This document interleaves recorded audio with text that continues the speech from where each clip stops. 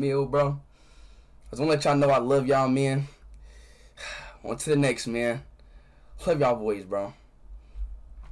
Yeah, unsubbed again.